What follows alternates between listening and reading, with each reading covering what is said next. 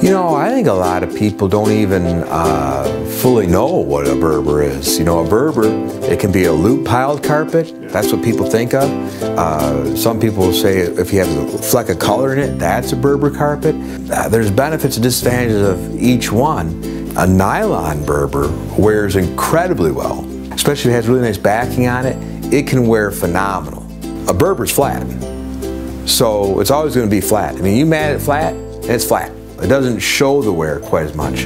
One thing that it does do though, sometimes you get like Kool-Aid stains, uh, oil stains, dirt stains.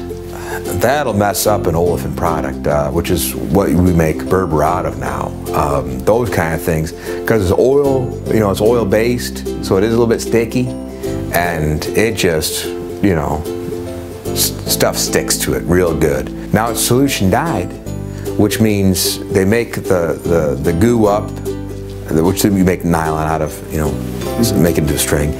Um, you make it into a goo, make it into a solution, dye it, fill all the dye sockets, and it was originally sold, and this is before my time, um, as something very, very low maintenance. Um, the problem is, is that the nature of the product is very sticky, so it's not so low maintenance.